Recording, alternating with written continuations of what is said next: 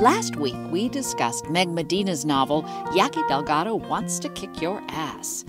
Meg answered some of the questions posed by our young readers, but they had a few more. This week, we hear more about Meg's approach to writing and a few other things.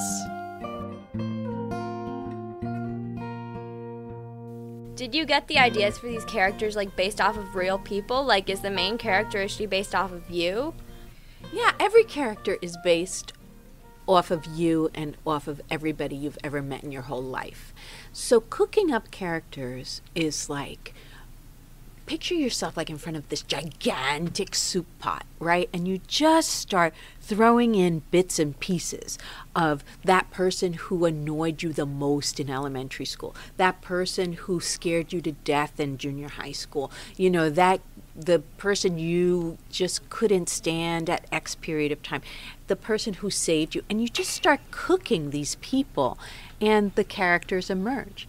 I think what makes characters feel real is that when when you read my book, I want you to be able to look at this character and say, "Oh my gosh, I know somebody exactly like that," or even better, "Uh oh, that's me." How long does it take like all the going to editors and then them telling you, wait, no, I don't like this part. You have to cut it out. Yeah, so, you know, I think the big news about writing is that it's mostly rewriting, right? We, we think that we put something down on a page, especially people think this of professional writers, that we put something down on the page and it's almost exactly like what's in the book that you see published. And it's never like that.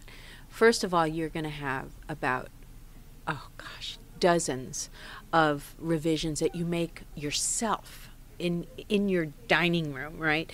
As you're writing this before you even dare show it to your editor. So there's that. But I, I like to to think about revision as sort of an opportunity. I used to take it personally, like when when somebody was giving you long lists of ways that you have to change this to make it better. You'd get this and say, "Oh my gosh, I'm a failure. I can't write. I'm really sort of mediocre. What business do I have in this in this line of work?" But what ends up happening is that I had a shift, and it's really this that writing a book is really just problem solving, right? The problems that the character's in, the problems that you're in in, in constructing it. And problem solving is finding all kinds of ways to solve something. So when my editor asks me to think about a character in a different way or solve it, finish a chapter differently or whatever, I now, instead of thinking, hmm, I'm going to slash your tires, I am thinking instead, that she's saying to me, I have faith in you to come up with another solution.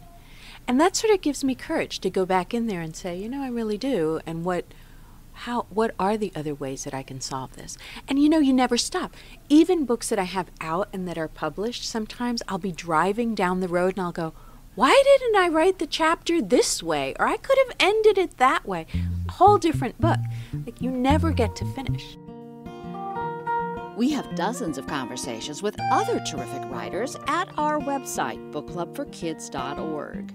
And if you're looking for an audio drama with a Latina protagonist, check out our other podcast, The Fina Mendoza Mysteries.